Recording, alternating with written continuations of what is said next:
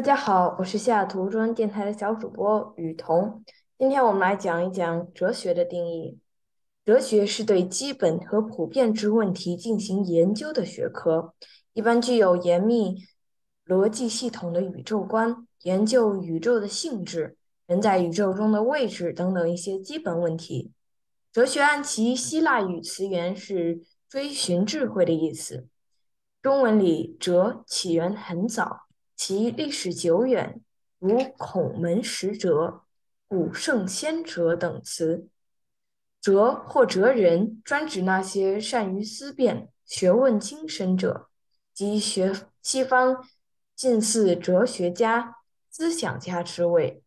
一般认为，中国哲学起源于东周时期，以老子的儒家，呃，老子的道家，孔子的儒家，墨子的墨家。和晚期的法家为代表，而实际上在之前的《易经》当中已经开始讨论了哲学问题。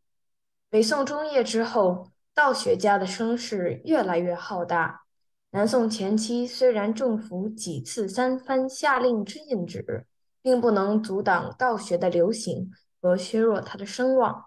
南宋以后，只有朱陆二系传续不绝。元明之际。朱学进居正统之位，为中国君主社会后期的官方思想。为中国君主社会后期的官方思想。惠董在评毛诗著书时说：“毛诗著述时说，宋儒之祸甚于秦晖。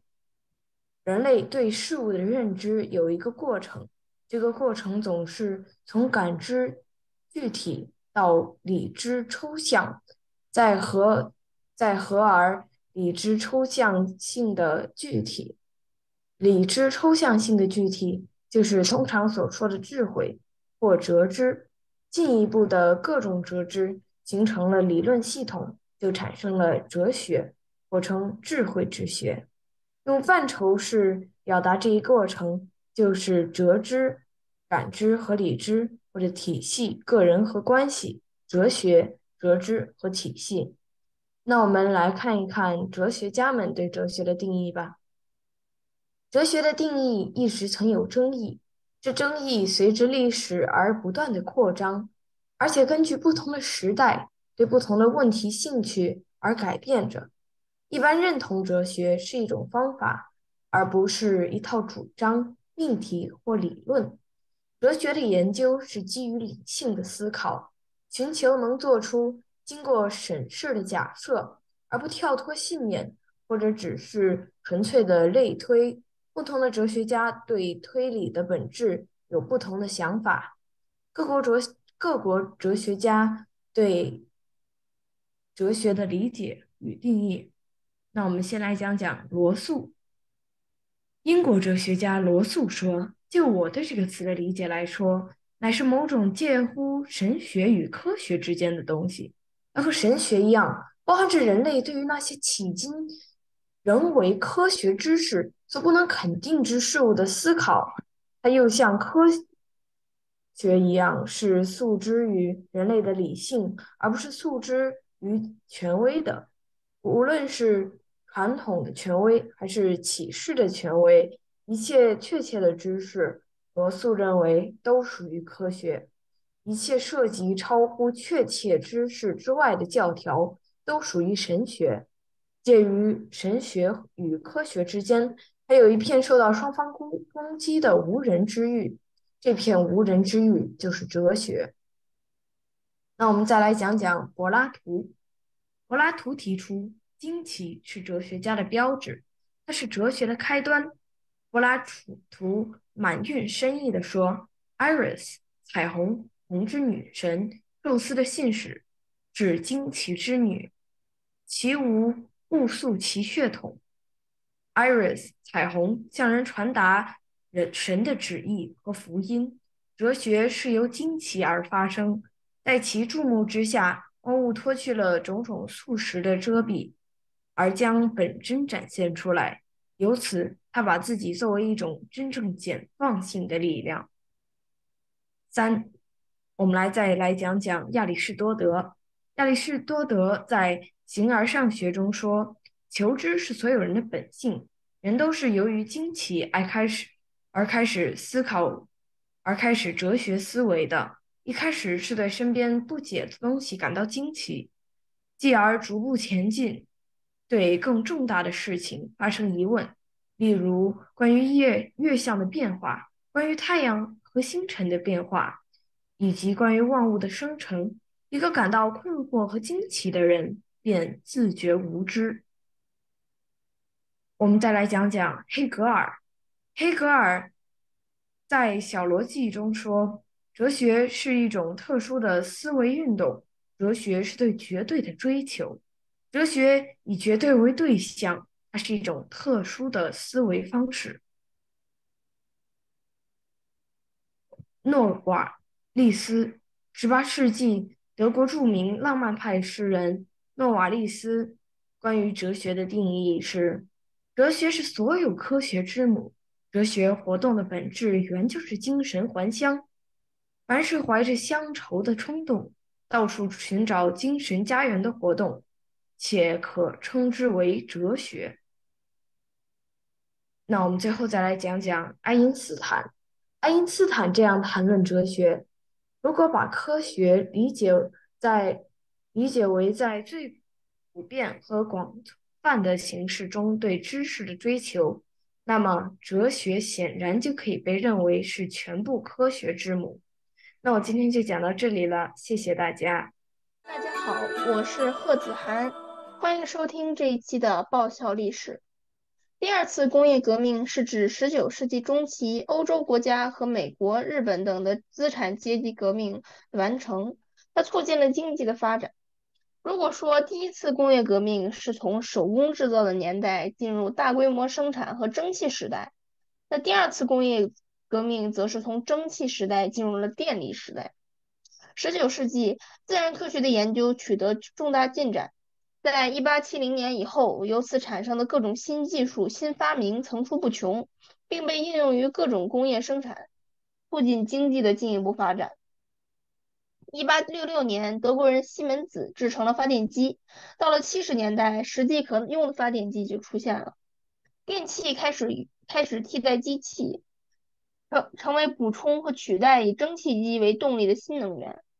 随后，电灯、电车、电影放。电影放映机相继问世，紧接着以煤气和汽油为燃料的内燃机相继诞生。九十年代，柴油机创制成功，内燃机的发明也解决了交通工具的发动机问题。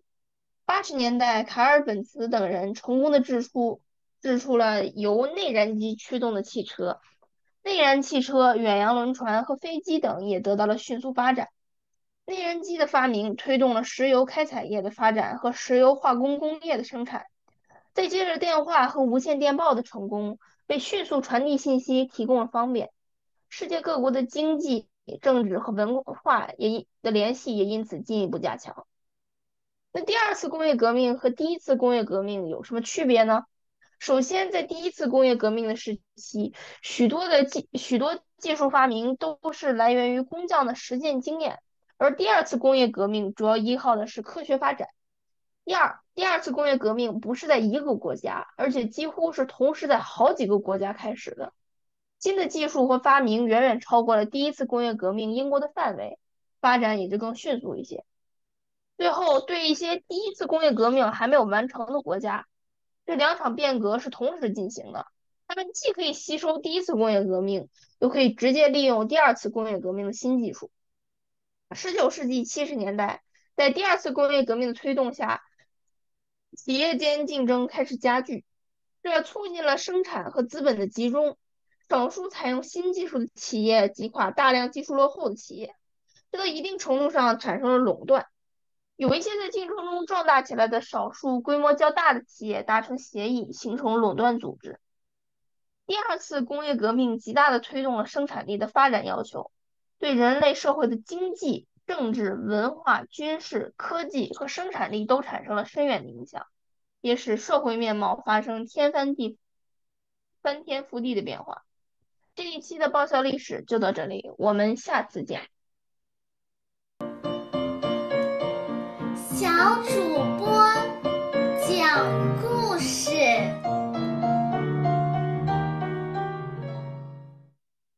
大家好，我是西雅图中文电台的小主播胡庆妍。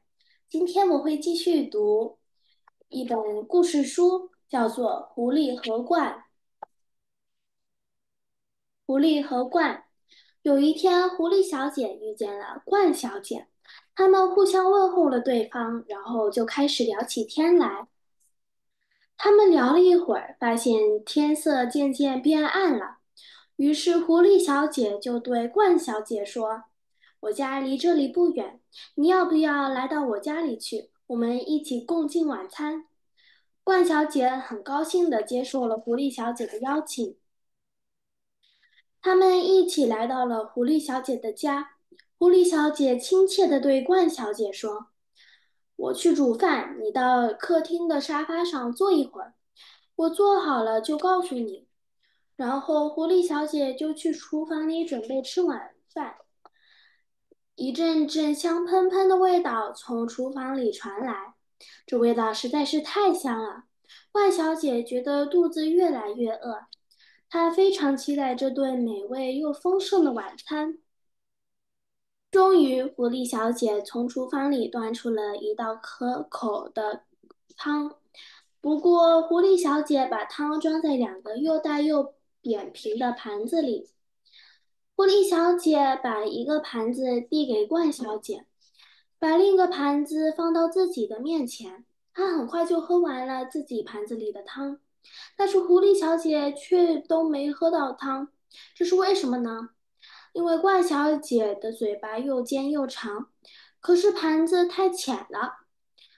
你为什么不喝汤呢？你不喜欢我煮的汤吗？狐狸小姐笑着对冠小姐说：“可能你不太饿吧？这真是太可惜了。如果你不介意的话，我就帮你把汤喝了吧。”狐狸小姐说完，就把冠小姐面前的盘子拿了过来，一口气把里面的汤都喝光了。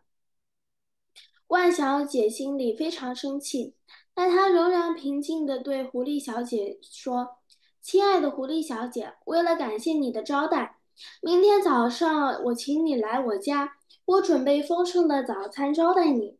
然后冠小姐就空着肚子回家了。第二天，狐狸小姐起了一个大早，她觉得肚子特别饿。很快，她就想起了和冠小姐的早餐约会。狐狸小姐觉得肚子好饿呀，于是她赶紧穿好衣服，急急忙忙地跑到冠小姐的家。非常欢迎你来到我的家，冠小姐亲切地问候狐狸小姐：“请进，请进，我已经把餐桌摆好了，再等一会儿，餐桌上就可以摆上好吃的早餐了。”狐狸小姐准备好大吃一顿，她心满意足地期待着冠小姐从厨房里端出来美味的食物。过了一会儿，冠小姐端出了散发着阵阵香味的浓汤。但是美味的浓汤却装在两个又细又高的瓶子里，瓶子的口又窄又长。狐狸小姐的嘴巴很宽，她根本无法喝到瓶子里的汤。这个时候，鹳小姐又尖又长的嘴巴则派上了用场，她快乐又满足地享用着这美味的浓汤。你为什么不喝了？关小姐问狐狸小姐：“是因为你昨天晚上吃太多了吗？所以你现在一点都不饿？唉，实在是太可惜了。如果你不介意的话，我可以帮你把汤都喝掉。”接着，关小姐就咕噜咕噜的把汤全喝完了。结果，狐狸小姐什么都没有吃到，她垂头丧气的空着肚子回家了。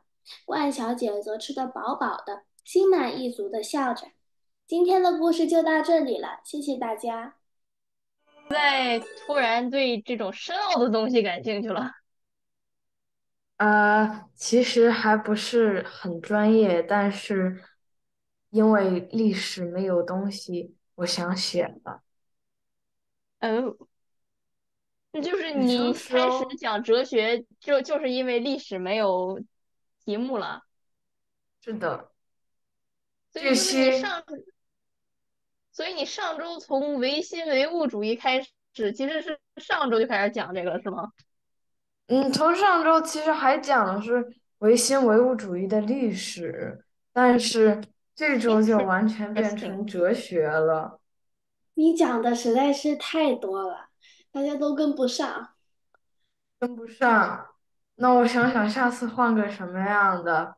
那我们下次就来讲该如何变成一颗椰子吧。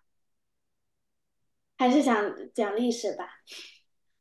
嘿嘿，那其实，呃，历史的有一些部分，然后我虽然可以讲，但是我不是很感兴趣，然后我也没有想到该怎么把它讲的有趣一些，所以感觉就算是讲了，大家也不会开心的，所以就只能换哲学讲了。毕竟哲学大家都听不懂，然后那听不懂怎么开心？啊？那你自己都懂吗？哲学的？一部分啦，那我也可以给别人分析一下，但是我不是专家。你学校有没有学哲学的，就是有哲跟哲学有关的那种呢？我们没有哲学有关的科目，我们的学校真的是比较烂，然后连基本的一些 club club 都没有。呃，但是我们我还是我们个学人校兴趣。是，我们学校是有一个心理学的一个课，但是除了其，但是除了那就没有了。嗯，让我去上，谢谢。要不我换到心理学吧，心理学也许更容易懂一些。嗯，你还是知识广泛很大呢。是广泛，但不，但是不团圆，哪一个都不团圆，很零凑，知道的东西都很零凑。那庆妍的学校呢？你们学校的 club 多吗？我们学校就是有科学 club，有数学 club，还有 art club 这样的。然后呢，学校一般的科目就是选修课都有，就是有更多数学，有就是呃跳舞、艺术这些，呃画画，然后呢也有就是像 leadership 这样的，所以呢就是挺多的，选不过来。庆妍，你的选修课选了什么呢？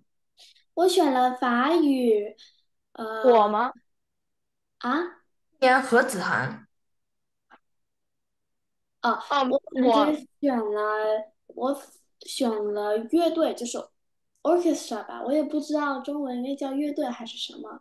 哦，管弦乐团。哦，管弦庆乐团，妍，对，我是你学了那个，我学了法语，还有呃，我从周一开始有一个画画的，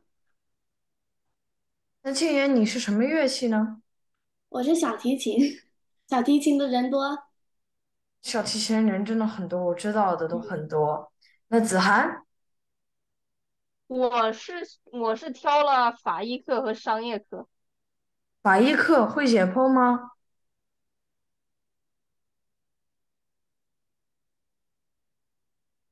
好呃，像不会。让我去上，让我去上第一节课，然后老师，你们对什么内容感兴趣？我解剖人类尸体。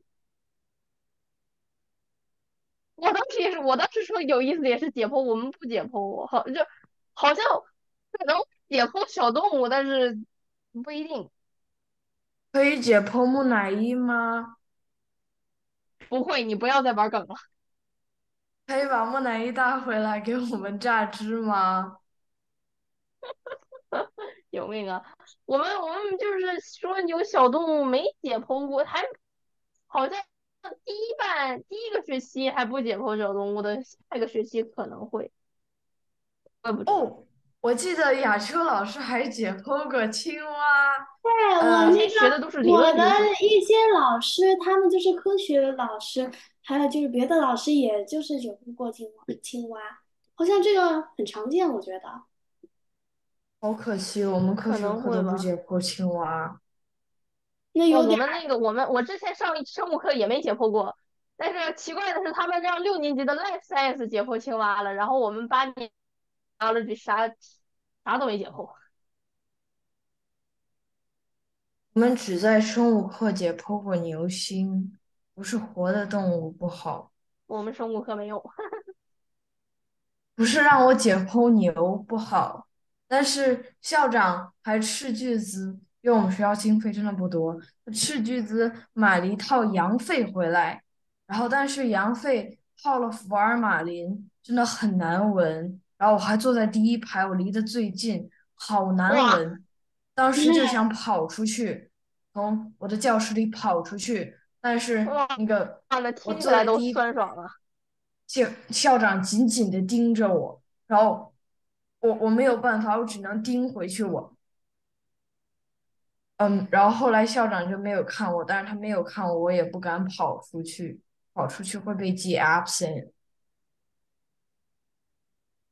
嗯，嗯，嘿，那庆爷，你解剖过什么内脏或者动物吗？没有，我我才上中学，我我没有，我真的没有，我不敢。weak。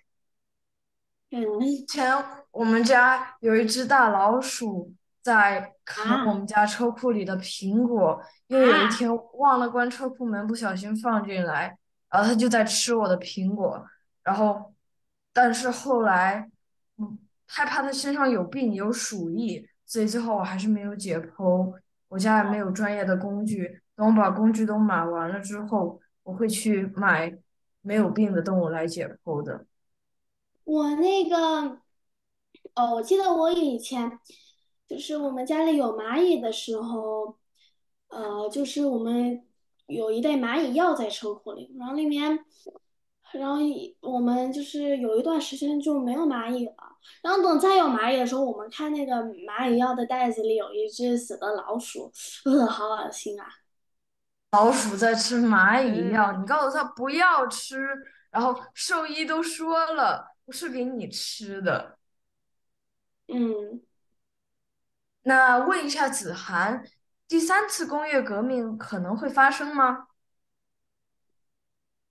三次工业革命，嗯，如果就是如果在未来未来有什么就是很厉害的这种，像比如说能够实现像科幻里那种投影投影式的屏幕，我觉得挺好的，可能会是第三次吧，我希望以后科技发达之后，就是像那种我去当科学家，然 hologram，后以后科技发达了，肯定死的人就多了，然后雇我去当科学家，然后我就可以解剖很多死人。